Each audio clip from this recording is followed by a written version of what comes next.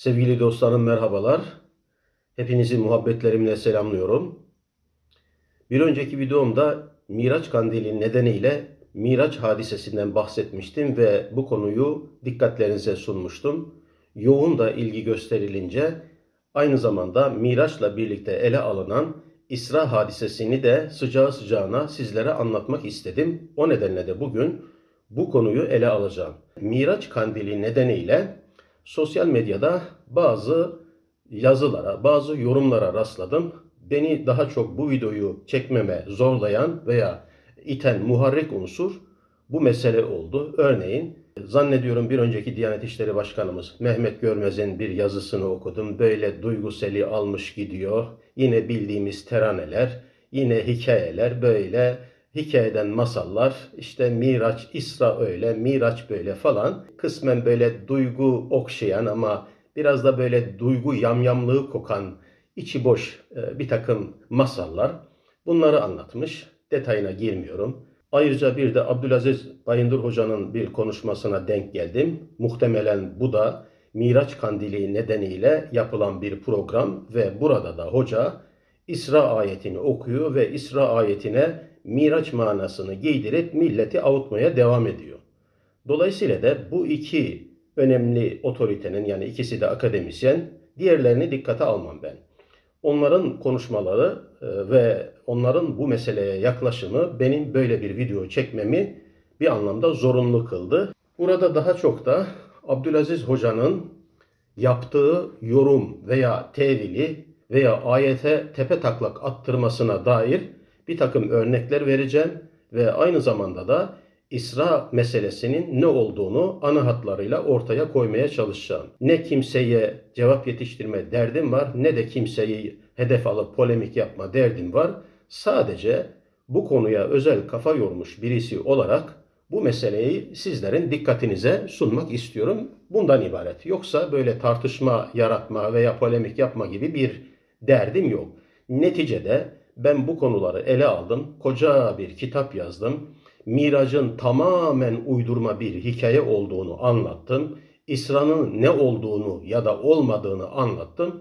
Ama bunlar halka mal olmuş konular. Biz ne kadar söylersek söyleyelim yine halk bildiğini okuyacaktır. Bunun da bilincinde olan birisiyim. Halka mal olmuş bir konunun siz akademik olarak ne olduğunu ortaya koyarsınız.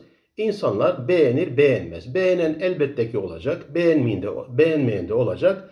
Ama halk da bildiğini okuyacaktır. Rahmetli Yaşar Nuri Hoca ömrünü e, bu hurafelere, hikayelere harcadı. Türbeler, tekkeler, zaviyeler ve bunların saçmalıklarını anlattı. Ne değişti? İnsanlar gene oraya gidiyor, yine göbek atıyor. Yine oradan e, al sana bir göbek, ver bana bir bebek diye e, abuk subuk şeyleri yapacaklardır. Bu değişmez. O nedenle de biz ne kadar Mirac'ın bir zerdüş masalı olduğunu ve Hazreti Peygamber'e uyarlandığını söylesek de insanlar yine bildiğini okuyacaklardır.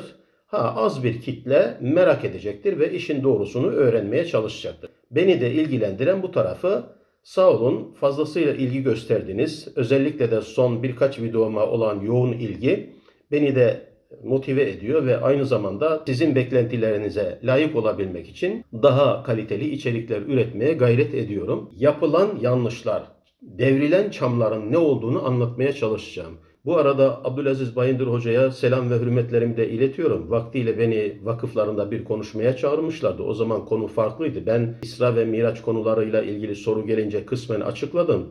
Hoca da güya hemen tasih etmeye çalıştı ama ben orada misafir olduğum için polemik çıkarmamak adına daha fazla detaya girmedim. Ama hoca bildiğiniz gazel okuyor. Hala da gazel okumaya devam ediyor. Kusura bakmasın. Bunu özel konuşabileceğim için burada daha fazla detaya girmeyeceğim ama yapılan ilmi yanlışa da yine ilmi ciddiyetle cevap vermeye çalışacağım. Daha önceden ne anlattım? İsra olayı ayrıdır, Miraç olayı ayrıdır.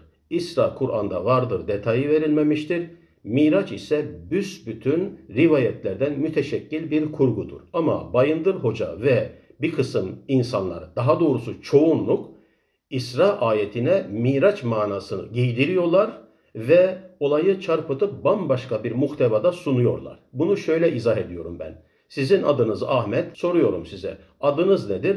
Diyorsunuz ki Zeynep. Yani böylesine abuk subuk bir mana anlam veriyorsunuz. O yüzden esra kelimesi ve burada ne anlatılıyor biraz ona değineceğim. Diğer ayetlerden örnekler vereceğim ve böylece İsra hadisesinin ana çerçevesini kısaca sizlere sunacağım. O nedenle de önce İsra ayetini hatırlayalım. Subhanellezi esra bi abdihi leylen minel mescidil haram ilel mescidil aksallezi barekna havlehu linuriyehu min ayatina diye devam ediyor ayet ve ondan sonra da ilginçtir ayet bittikten sonra ikinci ayete geçerken ve ateyna Musa'l kitabe diye de devam ediyor ve doğrudan ve bağlacıyla Musa'ya atıf vardır. Bu önemli bir detaydır ancak bu birinci ayet bütünüyle Hazreti Peygamber'in başından geçen olağanüstü bir mucize gibi de sunulur. Bu bambaşka bir çelişkidir. Buna da değineceğim. Oysa burada Hz. Muhammed'in isminden bahsedilmemektir. Burada kul ifadesi kullanılmaktadır. Bu kul ifadesinin Hz. Musa ile ilgili olma ihtimali bana göre Hz. Muhammed'den çok daha kuvvetle muhtemeldir. Ancak bu Hz. Muhammed'in mucizesi veya olağanüstü tecrübesi gibi sunulmuştur. Sebebi de Hz. Musa ile yarıştırıldığı içindir. Biraz buna da değineceğim ki İsra hadisesi Hazreti Musa'nın tecrübesi olabilir mi şeklinde bir de videom vardı. Yani bu konu, konuya da özellikle zaman ayırmış birisiyim. Bu itibarla da İsra olayı her ne kadar Hazreti Peygamber'le ilişkilendirilse de aslında Hazreti Musa ile olma ihtimali daha yüksektir. Bunu söyleyebilirim ancak önünde birkaç engel var ona da değineceğim. Ayette ne diyordu? Kulunu bir gece Mescidi Haram'dan çevresini veya etrafını mübarek kıldığımız Mescidi Aksa'ya götüren, yürüten, esrabi yürüten Allah yüceler yücesidir. Burada önemli olan ayrıntı esrabi ifadesi ve bir de ayetteki leylen kelimesi. Ve bu yolculuğun yaptırılma sebebi şöyle izah ediliyor. Biz bu yolculuğu li nuriyehu min ayatina ayetlerimizden bir kısmını göstermek için yaptırdık diyor. Allah her şeyi görür ve işitir diye ayet bitiyor. Burada dediğimiz gibi birincisi İsra veya Esra kelimesi, ikincisi de Leylen kelimesi. Görüldüğü üzere ayetin muhtevası bu. Bu ayetin haricinde İsra olayına Kur'an kesinlikle yer vermiyor. Yani Kur'an İsra'dan bahsediyor ancak hiçbir detay vermiyor. Görüldüğü üzere ayette İsra olayından veya İsra konusundan bahsediliyor ancak yolculukla ilgili herhangi bir ayrıntı verilmiyor veya li nuriyehu min ayatina deniliyor.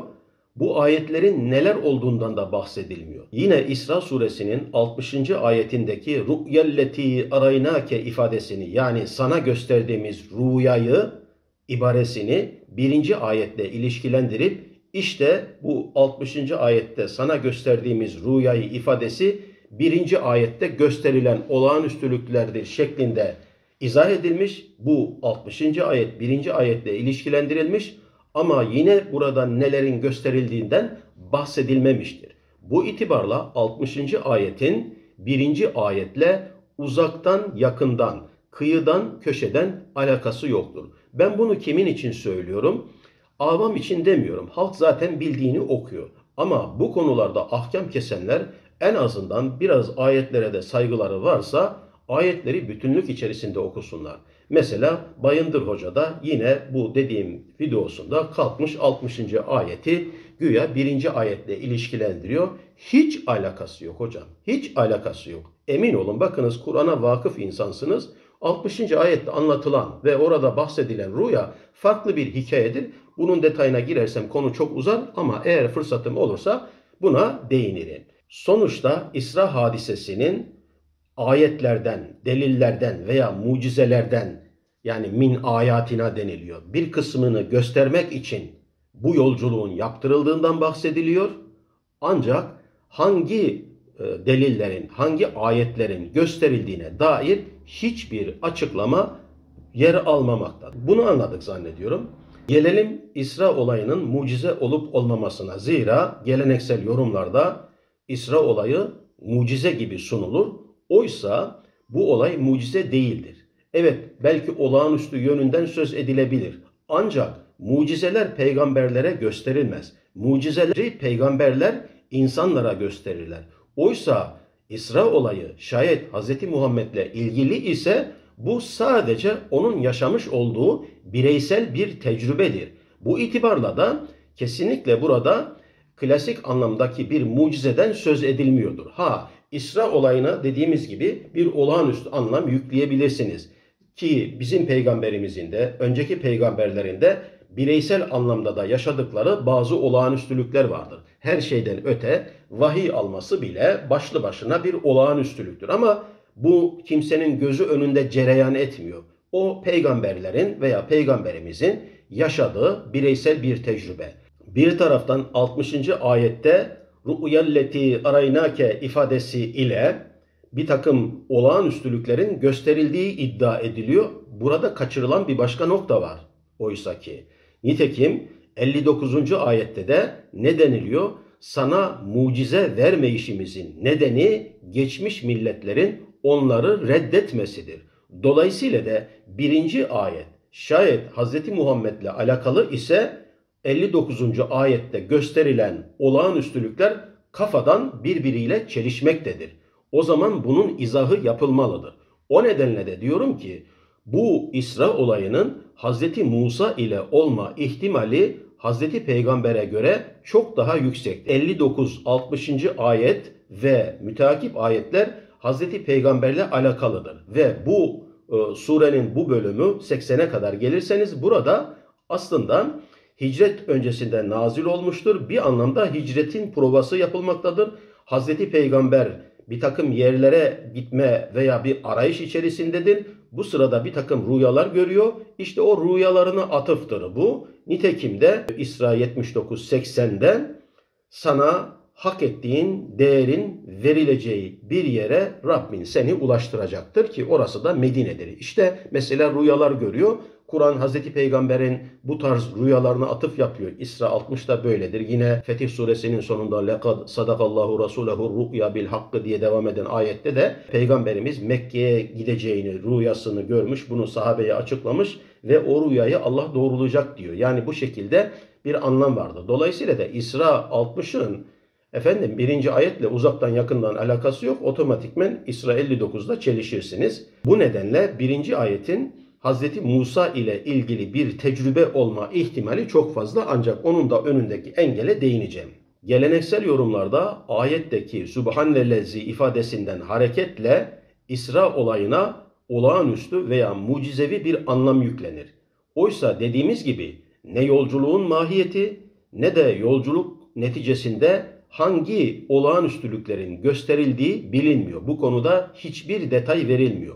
Bu yönüyle bakılınca İsra hadisesi şayet Hz. Muhammed'in yolculuğu ise ve gösterilen her ne ise bu bu anlamda yaşayanla yaşatan arasında bir sır gibi durmaktadır. En azından ben böyle yorumluyorum. Ama bir kayıt daha düşüyorum. Hz. Musa ile olma ihtimali çok yüksektir. Hele hele Neml suresindeki açıklamalara bakılırsa bu olayın Hz. Musa ile olma ihtimali daha yüksektir ki Neml suresinde Hz. Musa'ya gösterilen bir takım mucizelerden, olağanüstülüklerden söz edilir.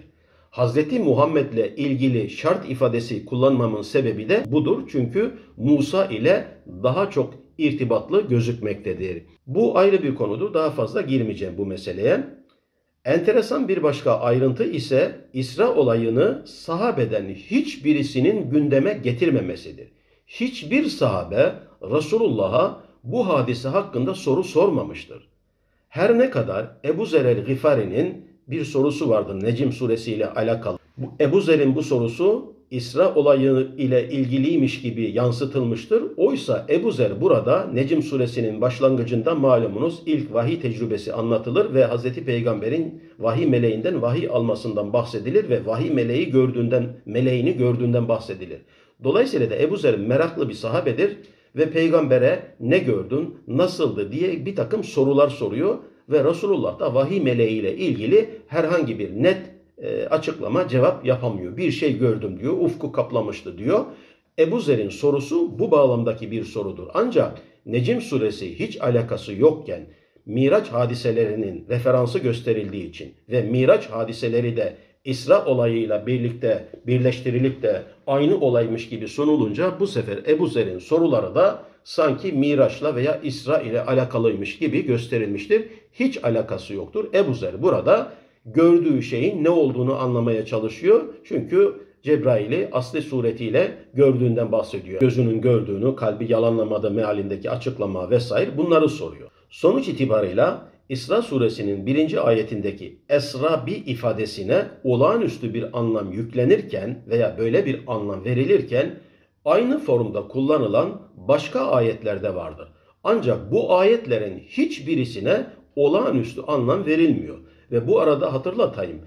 İsra veya esra gece yolculuğu demektir. Esra bi, bir harfi cerdir. Esra bi ifadesiyle birlikte kullanılınca birisinin götürmesi, yürütmesi anlamına gelir. Dikkat ederseniz esra zaten gece yolculuğudur ve birisi götürüyor yani Rabbi kulunu götürüyor. Bir de ayrıca ayette leylen kelimesi kullanılıyor. Ayette bir daha leylen kelimesinin kullanılmasının gecenin bir bölümüne işaret ettiğine dair yorumlar yapılmış ve bu şekilde kısa sürede gerçekleşen bir hadise bir olağanüstülük olarak sunulmuştur. Oysa aynı formla, aynı kalıpla, aynı ifadelerde kullanılan değişik ayetler de vardır. Bunların hiçbirisine bu anlamda bir olağanüstü anlam yüklenmemiştir. Önce hatırlatayım sonra biraz daha açacağım konuları. Mesela Duhan suresinin 23. ayetinde, Taha suresinin 77. ayetinde, Şuara suresinin 52. ayetinde, Hicr suresinin 65. ayetinde ve yine Hud suresinde İsra 1'deki gibi kullanımlar yer almaktadır. Yani esra bir veya esra kelimesi kullanılmaktadır. Bunların hiçbirisine olağanüstü anlam verilmiyor. Hepsinin normal yürüyüş olduğu söyleniliyor. Bazıları ise İsra kelimesine olağanüstü mana, miraç manası da verdiği için ayetleri çarpıtacaklardır ki e, videomun başında da e, yine böyle bir çarpıtmaya değinmiştim ve bu nedenle bu videoyu çektiğime değinmiştim. Gelin şimdi biraz daha o bahsettiğim ayetlerdeki manaya bakalım. Mesela Duhan 23'te Hazreti Musa'ya kavminin Firavun'un zulmünden kurtulması için mesaj verilirken fe esri bi abdihi leylen bakınız fe esri bi abdihi leylen aynen İsra 1'deki form kullarımı bir gece al götür ee, Esra zaten gece yolculuğuydu. Aynen Leylen ifadesi de kullanılıyor. Bir gece yani Leylen herhangi bir gece demek. Kullarımı herhangi bir gece al götür çıkar yani şehirden çıkar. Firavun'un zulmünden kurtar. Bakınız burada Musa'nın bu yolculuğu gecedir ve hiçbir olağanüstü mahiyet atfedilmez. Siz bugüne kadar bu ayete veya Hz. Musa'nın e, İsra ayetindeki gibi mucizevi bir e, şekilde çıktığı yorumlarını gördünüz mü? Yani ayete böyle anlam verildiğini evet Mısır'dan çıkış mucizevi formla anlatılır, farklı olaylarla ilişkilendirilir, denizin yarılması vesaire ama Mısır'dan Musa'nın gece çıkmasının öyle bir anda olup biten İsra'daki gibi, gibi bir anlama dönüştürülmediğini görüyoruz. Taha suresinin 77. ayetinde de yine Hz. Musa ile ilgili bir açıklama var ve burada da benzer bir form kullanılmıştır. Ne diyor ayette? وَلَقَدْ اَوْحَيْنَا ila Musa en esri bi ibadi. Bakınız burada da en esri bi ibadi. Esra bi. Yine esra bi ifadesini görüyoruz. Tıpkı İsra ayetinde e, Subhanellezi esra bi abdihi dediği gibi ve ayetin manası şudur burada Taha 77'de Musa'ya şöyle emrettik. Kullarımla yani İsrail oğullarını al geceleyin yola çık. Bakınız yola çıkmak yani yürümek. Ve Allah'ın onu yürütmesi veya Musa'nın e, İsrail oğullarını yürütmesi bağlamındadır. Şu ara 52'deki ayette de yine Musa'nın Mısır'dan çıkışına işaret edilir ve aynı ifadeler kullanılmıştır. Keza Hz. Musa'nın Tur Dağı'na çıkışının da yine Esra ifadesiyle kullanıldığını, anlatıldığını belirtmiş olayım ki mesela Tur Dağı'na çıkışın herhangi bir mucizeden, mucize olduğundan yani yolculuğun mucizevi bir yolculuk olduğundan bahsedilmez ama orada tabii ki bir takım olağanüstülükler yaşıyor bu ayrı. Aynı şekilde Hicr suresinin 65. ayetinde de Hazreti Lut'un müminlerle birlikte şehri terk etmesinden bahsedilirken fe esri bi ehlike bi kıt'in minel leyl ifadesi vardır. Dikkat edebiliyor musunuz burada da? Gecenin bir kısmında aile fertlerini al ve şehri terk et. Bu Hazreti Lut'la ilgili kısım aynı zamanda Tevrat'ın yaratılış bölümünün 19. babında da yer almaktadır. Merak edenler buradan da benzer muhtevayı görürler. Dikkat ederseniz burada da yine e, Esra bi yani Hazreti Lut'un şehri terk etmesi. Ancak e, bu videoyu çekmeme neden olan da Bayındır Hoca'nın bu ayet, ayeti ve aynı zamanda İsra ayetini tepe taklak etmesidir. Birazdan bunun detayına geleceğim. Ayrıca yine Hud suresinin 81. ayetinde de Esra kelimesinin Hazreti Lut'un çıkışıyla yani şehirden uzaklaşmasıyla alakalı olduğunu belirtelim. Sonuçta bu ayetlerde geçen Esra bir ifadelerinin hiçbirisine olağanüstü bir anlam verilmemiş. Zaten böyle bir anlam içermiyor. Normal bir yolculuktan yani gece yolculuğundan bahsediliyor. Ancak konu Hz. Muhammed'le ilişkilendirilen İsra ayetine gelince burada tevilin beli kırılmaya başlanıyor ve İsra ayetine bir takım olağanüstülükler veriliyor. En çok verilen olağanüstü tarafı ise Subhanellezi ile başlamasından hareketle bunun mucizevi bir olay olduğu, işte Allah'ın da burada yüceliğine atıf yapıldığı, dolayısıyla da bu yolculuk olağanüstülüktür denmiştir ama bu manayı veren mealcilerdir. Yani ayetin muhtevası aslında normal bir yolculuğu ifade etmektedir. Örneğin bu ayeti Bayındır Hoca bu son videosunda gördüm. Şaşırdım ben de. Videonun tamamını izlemedim. itiraf edeyim. E, ki burada da anlatacağım bölüme kadar izledim. Gerisini artık tahammül edemedim. Bayındır Hoca almış şimdi e, muhtemelen bu Miraç kandili nedeniyle bu ayeti aynen onun ifadesi. Bu surede Muhammed Aleyhisselam'ın göklere yaptığı yolculuktan bahsediliyor. Hocam hiç yakıştı mı Allah aşkına? Göklere yaptığı yolculuktan bahsediliyor. Neden bahsediyorsunuz? Siz Arapça biliyorsunuz. Hatta öyle ki Kur'an bizden sorulu gibi bir mantık var sizin etrafınızdaki insanların. Allah aşkına esra, gece yürümenin ne zaman göklere çıkma anlamına geldiğini gördünüz veya nereden buldunuz bu anlamı birazdan anlatacağım gerçi. Bu açıklamayı yaptıktan sonra İsra ayetini okuyor. Subhanellezi esra bi abdihi leylen diyor ve bu ibareye de şu anlamı veriyor. Bakınız burası son derece önemli. Bir gece kulunu yukarıya çıkaran Allah. Bakınız kulunu yukarıya çıkaran. Hani Esra normal yol gece yolculuğuydu. Hoca bunu yukarıya dayandırdı. Tıpkı Hamidullah Hoca gibi direksiyonu yukarıya kırdı. Hocam etmeyin. Ayete takla attırmanıza gerek yok. Ayete ayar vermenize gerek yok. Metni anlayın, metne göre mana verin. Kaldı ki az önce de ifade ettiğim gibi değişik ayetlerde de esra fiili, fiilinin hangi anlama geldiği zaten çok çok açık. Devamında ayeti sonuna kadar okuyor ve burada geçen li nuriyehu min ayatina ifadesindeki bu ayet kelimesine özel anlam yüklüyor ve diyor ki ayet kelimesi Miraç olayı diye biliniyor. Bakınız burada da bir başka tevil yapıyor. Ne alakası var hocam Allah aşkına yahu? Etmeyin ya siz akademisyensiniz. Bunu yapmayın. Ünvanınızın altında ezilmeyin. Yazıktır, günahtır. Aslında çok daha şiddetli eleştireceğim de yakıştıramıyorum. Hocayı da çok seviyorum onu da söyleyeyim. Yani hoca çok samimi bir insan ama etmeyin hocam yanlış da ısrar etmez. Akademisyenin böyle bir derdi olmaz hocam. Ayet kelimesi miraç olayı diye bilinir diyor ve aynı zamanda da bu diyor yanlış değil. Ve Resulullah'ın yedi kat göklere çıkarıldığını iddia ediyor peşinden ve bu yedi kat göklere de meariç anlamı veriliyormuş. Meariç suresi var ya oraya göndermede bulunuyor. Halbuki Me'ariç suresinin Miraç'la uzaktan yakından ya hiçbir alakası yok gözünüzü seveyim etmeyin gitmeyin. Ya Miraç dediğiniz bir masaldır yahu.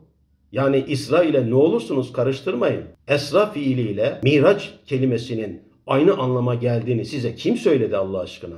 Böyle bir şey olabilir mi? Neticede hoca bu, bu açıklamalara değiniyor ama ayeti okuduktan sonra ikinci ayetin ve bağlacıyla devam ettiği kısmına gelmiyor. Çünkü oraya gelirse mesele Hazreti Musa ile başladığı için orada sorun var. Hoca buraya takmış. Şimdi bunu bir izah edecek ve Esra'nın nasıl göklere çıkış olduğunu anlatmaya çalışacak. Burada enteresan hocanın yanında bir kadın var. Kadına bir ayet okutturuyor. Okutturduğu ayet az önce benim okuduğum Hicr suresinin 25. ayeti. Ve bu ayette dediğimiz gibi Hazreti Lut'un ailesiyle, müminlerle birlikte şehri terk etmesinden bahsediliyor ve fe esri bi ehlike bi qit'in minel leyl ifadesi vardır. Ayetteki fe esri bi ifadesi şehri terk et, şehirden çık anlamındadır. Ancak Bayındır Hoca yanındaki kadına bu ayeti okutuyor ve bu ayete yukarı çıkma manası verdiriyor. Kendisi de bunu tasdik ediyor. Kızcağız okuyor ayeti. Ayette Lut'un ailesi ile beraber şehir dışına çıktıklarını söylüyor kızcağız. Ama ayete yukarı çıkma manası verebilmek için dağa çık ifadesine atıfla burada sözü Bayındır Hoca alıyor. Bakın diyor İsra kelimesi yukarı çıkma anlamına geliyor ve bu anlamı verip hoca tevilin belini kırıyor ve ayete öyle birkaç takla attırıyor. Hem hem bu ayete hem de İsra ayetine. Bunları da duyunca daha fazlasına inanın midem kaldırmadı, devam etmedim. Sonrasında ne dediğimi bilmiyorum. Yine de diyorum hocaya saygım vardır ayrı ama yani ne olur yanlışta ısrar etmenin bir anlamı yoktur. Yani İsra olayı ile Miraç hadisesinin uzaktan yakından bir alakası yoktur hocam. İstediğiniz kadar çırpının.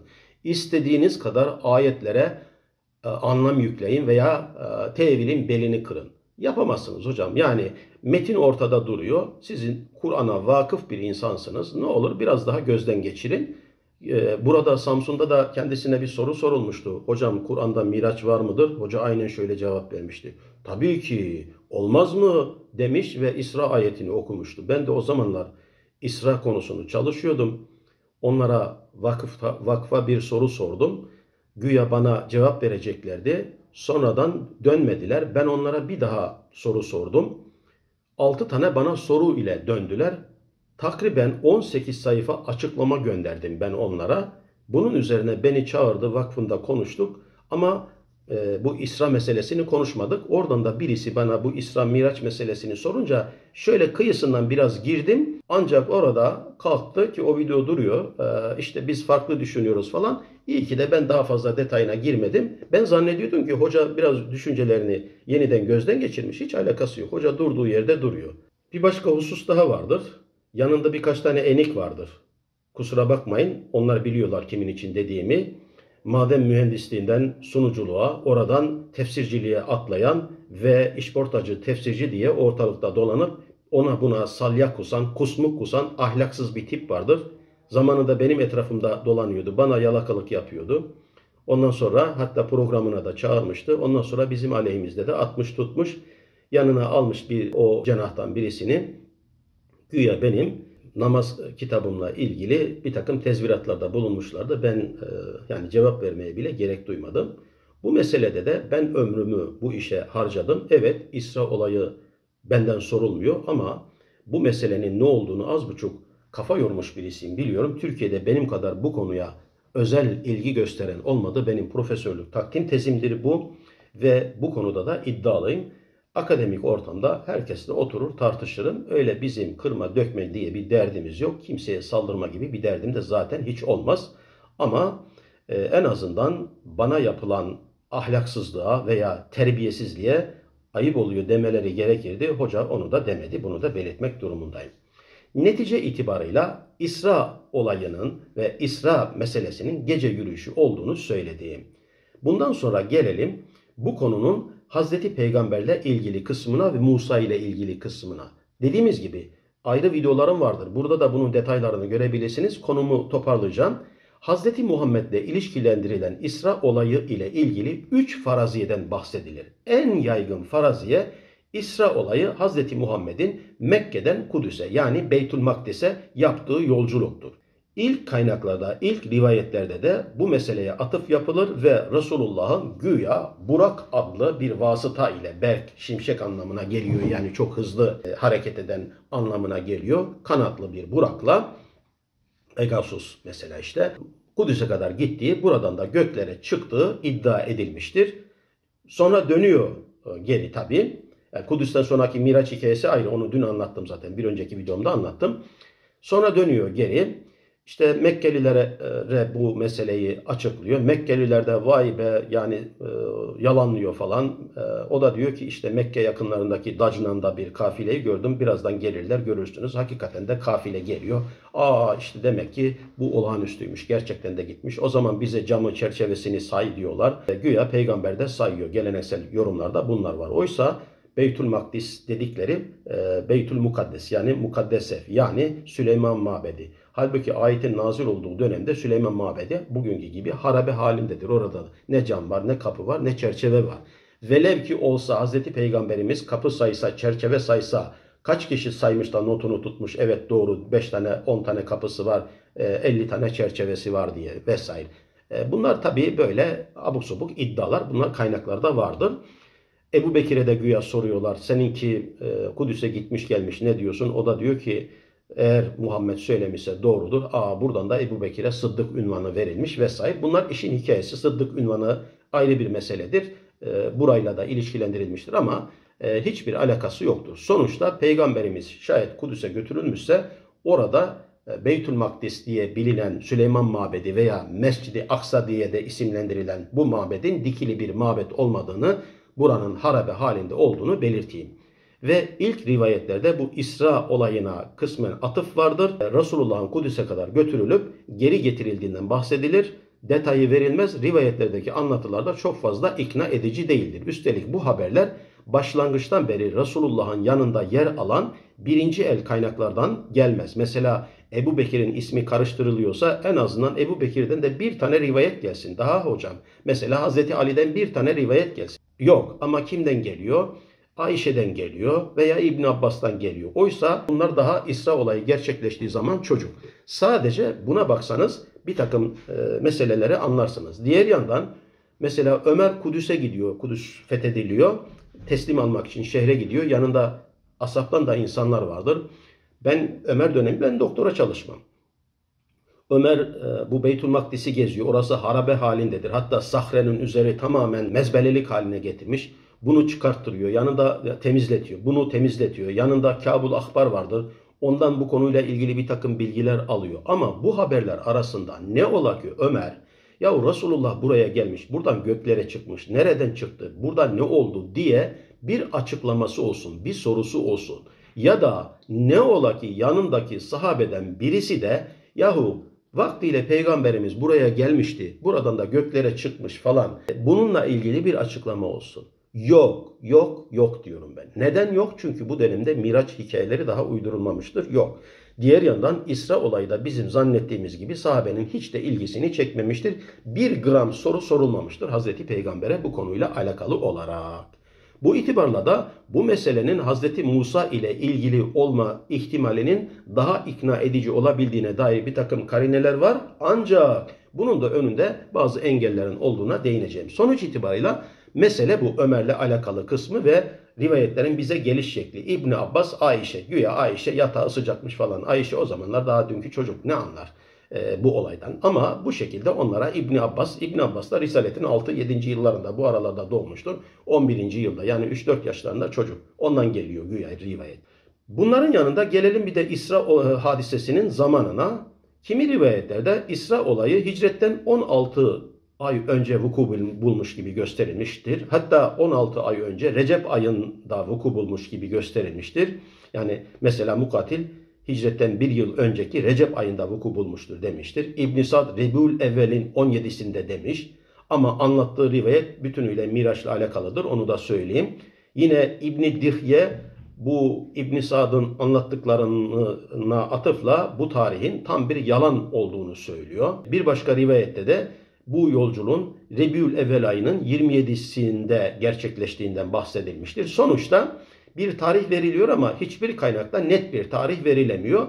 Genel kabule göre de hicretten bir buçuk, bilemediniz iki ama bir buçuk iki yıl arasındaki bir dönem içerisinde bu hadise vuku buluyor. Zaten İsra suresinin nazil olduğu dönemde budur. E, bu tarihlerdir. Yani Hazreti Peygamber'in Medinelilerle temas kurduğu dönemde Medine'ye hicret edecektir. Tam bu safahatta Hz. Musa'nın çıkışından bahsediliyor. İsra olayının e, özellikle 70 ile 80. ayetlerinde Hz. Peygamber'in çektiği çileden bahsediliyor. Geçmiş peygamberlerin de benzer çileler çektiklerini ama sonunda sabredip kurtuluşa erdiklerini sana burada kavmin Mekke'yi dar etti ama sabredersen hak ettiğin değerin verildiği bir yere Rabbin seni ulaştıracaktır deniliyor ki burası da makamen mahmuden ifadesidir. Makamı Mahmud'u da bizimkiler ezanın peşinde bir dua olarak okuyorlar. Halbuki makamı Mahmud'dan kasıt Resulullah'ın değer verileceği bir yere ulaştırılması meselesidir ki Medine kastedilmektedir. Bunu da söylemiş olayım bu arada.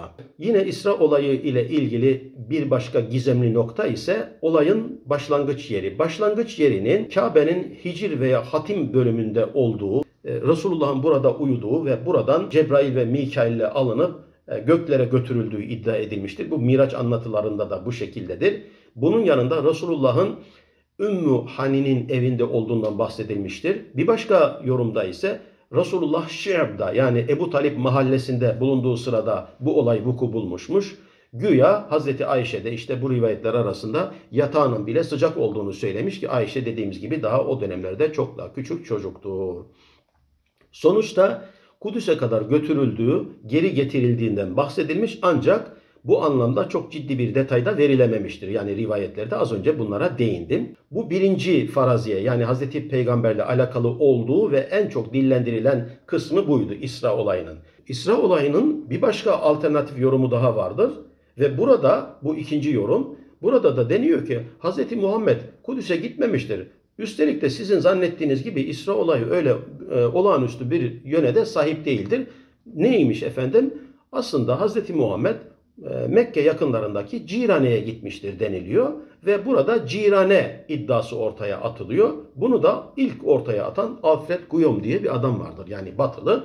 Daha sonra da Türkiye'deki kimi akademisyenler de mal bulmuş Mağribi gibi buna daldılar ama buradan da bir sonuç çıkmayacağını, bu iddiadan bir cacık çıkmayacağını söyleyeyim size. Bu konuya da kafa yormuş birisiyim. İlk başta ben de epey bu ihtimal üzerinde durdum ama ancak bu eser yazarken ancak bunun e, tamamen böyle saçma bir iddia olduğunu söylemiş olayım. Nitekim de bu iddia neye dayandırılıyor? Vakidi ve Ezraki'de bir ifade vardır. El Mescidül Aksa yani en uzak mescit kavramı geçiyor. Her iki müellif de bu meseleyi Huneyn ganimetleri için Resulullah 14 gün kadar Cirane'de kalıyor. Kaldığı zaman Resulullah'ın ibadet ettiği yere El Mescidül Aksa ifadesini kullanmışlar ve dolayısıyla da bu Alfred Guillaume da diyor ki baksanıza diyor işte El Mescidül Aksa öyle sizin zannettiğiniz gibi Kudüs'teki en uzak mescit değil bu mescitti diyor ve bununla ilgili bir takım rivayetlere yansıyan açıklamalar vardır ve buraya normal yürüyüştür diyor. El Mescidül Aksa diye geçen rivayetlerdeki bu ifade için vadinin arka tarafındaki en uzak mescit anlamı yüklenmiş ve Üdvetül Kusva'da namaz kıldı gibi ifadelere yer verilmiştir. Yani Resulullah'ın ibadet ettiği El Mescidül Haram'a göre en uzak mescit El Mescidül Aksa olarak tanımlanmıştır. Ve bu tanımlama baktığınız zaman evet tutarlı ancak dediğimiz gibi bunun da önünde bir takım e, engeller vardır. Ayrıca bu rivayet El Mescidül Aksa kullanıldığı gibi bir de El Mescidül Edna ifadesi de vardır. Eğer peygamberimiz buraya gece götürülmüşse e, ve bu iddiayı savunanların dediği doğru ise o zaman bir zahmet bir de Resulullah'ı El Mescidül Edna'ya da götürmeniz gerekir. Mescid-i Aksa'ya gidiyor ama Mescid-i Edna'dan bahsetmiyor. Halbuki rivayette de Mescid-i Edna'dan da bahsediliyor. Oysa Cirane iddiasının hiçbir inandırıcılığı yoktur. Neden yoktur? Burası Huneyn Savaşı'ndan sonra ganimetlerin dağıtılması için Resulullah burada 14 gün kadar kalıyor. Bu dönemde burada ibadet ettiği yere verilen isim olduğu için o dönemde gündeme geliyor. Daha önce Hz. Muhammed'in buraya gittiğine dair en ufak bir iz işaret yoktur. Yani Huneyn Savaşı ne zamandır hocam? 630'dan sonra. Olay ise ne zamandır? Risaletin 11. yılında. Düşünebiliyor musunuz aradaki farkı? Dolayısıyla da bunun öncesinde Hz. Muhammed'in Cirane'ye gittiğine dair en ufak bir iz işaret yoktur. Nitekim Peygamberimizin gittiği Mekke'deki bir takım yerlerden bahsedilir ve bununla ilgili Ezraki tek tek açıklamalarda bulunur. Yani mescitler peygamberimizin namaz kıldığı yerleri tek tek yazar.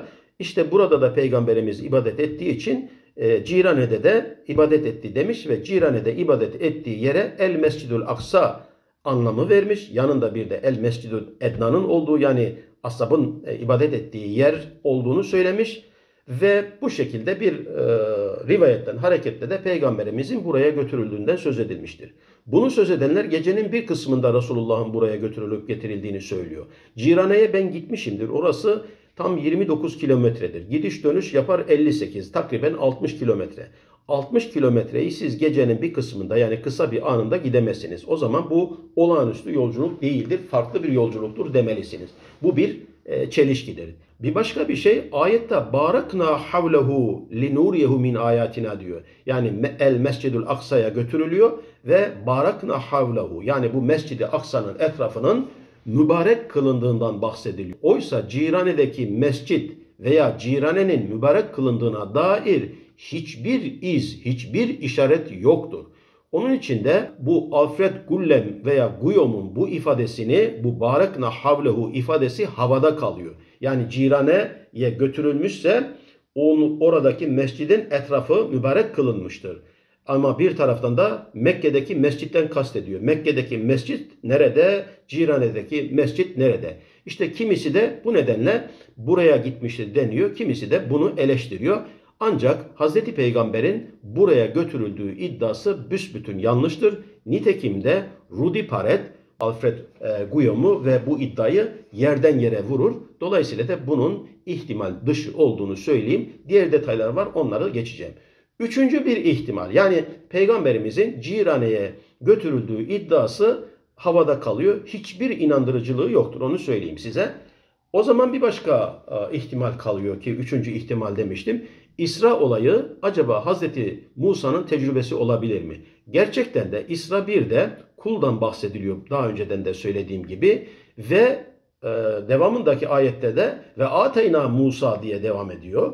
Ve Musa İsrail oğullarından bahsediyor. Yine 7. ayette mescitten bahsediyor.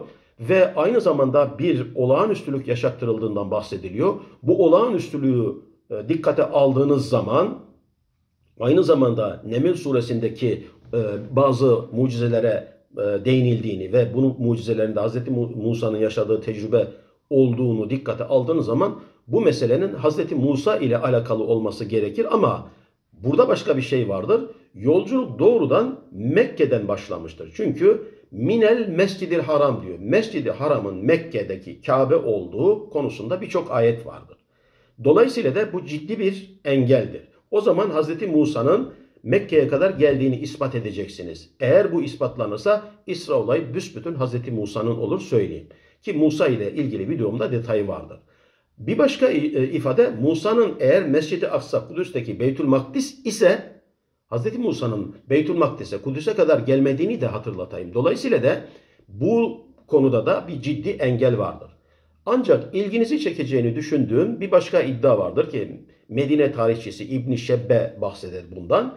Musa çıkışta e, iddialara göre Medine'ye kadar gelmiştir. Yani bizim İslam kaynaklarımızda Hz. Musa'nın Mısır'dan çıkıştan sonra hani e, Sina çölünde kalıyorlar ve işte bu safahatta Musa'nın Medine'ye kadar geldiğine dair bir takım iddialar vardır. Hatta kardeşi Harun'un da Medine'de öldüğü, dahası Uğud yakınlarında Musa'nın güya kıskançlık nedeniyle kardeşini öldürdüğü mezarının da burada olduğu yani Harun'un Uğud Dağı yakınlarından medfun olduğuna dair bir takım iddialar vardır. Semhudi de buna değinir. Semhudi e, çok sonraki kaynak ama İbn Şebe erken dönem kaynaklardandır. Burada değinilir. Şayet bu yolculuk sırasında Musa e, Mekke'ye kadar gelmişse kusura bakmayın bu hadise bütünüyle Hz. Musa ile ilgili olabilir diyorum. Sonuç itibarıyla şayet bir gün Hz. Musa'nın Mekke'ye kadar geldiği ispatlanırsa çok farklı bir sonuçla karşı karşıya kalabiliriz. Detayları daha önceki videomda olduğu için burada girmiyorum. Bütün bunları topladığınız zaman bu meselenin Hz. Musa ile de ilgili olma ihtimali vardır. Geleneksel yorumları bir tarafa bırakırsak İsra ayetini salt ele alırsak burada kul ifadesinden bahsediliyor. Ancak kul ifadesi yorumlarda Hz. Muhammed'e dönüştürülmüştür ve Hz. Muhammed'in Kudüs'e kadar getirildiği iddiası vardır. Ama Mescidi Aksa'nın da illa da Kudüs'teki Beytül Makdis olduğu konusu çok net olmamakla birlikte diğer ayetleri dikkate aldığımız zaman Hz. Peygamber'in Kudüs'e getirilmiş olma ihtimali mevcut verilere göre şu anda daha geçerlidir. Benim de kabul ettiğim budur. E, Ancak bir gün Hz. Musa ile ilgili dediğim ihtimaller dikkate alınır ve ispatlanırsa e, özellikle de Neml suresinin 7 ile 12. ayetlerindeki e, bu mucizelerde göz önünde bulundurulursa ya da Mescidi Haram'ın Mekke dışında bir başka yer içinde kullanıldığı dikkate alınırsa bu doğrudan Hz. Musa'nın e, tecrübesi olur diye söylüyorum ve daha fazla detaya girmeyeceğim çünkü konu çok uzadı. Zannediyorum maksadımı izah ettim. Tabii ki konunun birçok daha detayı vardır ama değişik videolarımda zaten bu konulara değindiğim için onları tekrar ele almayacağım. E, gerek Hz. Musa ile ilgili videomda gerekse İsra meselesini tek başına aldım videoda burada değinmediğim bir takım detaylara değindim. Bir bütünlük halinde izlerseniz o zaman konu ile ilgili daha net bir fikir edinmiş olursunuz diye düşünüyorum. Dinlediğiniz için teşekkürler ediyorum. Bir başka videoda görüşmek dileğiyle. Hoşçakalın.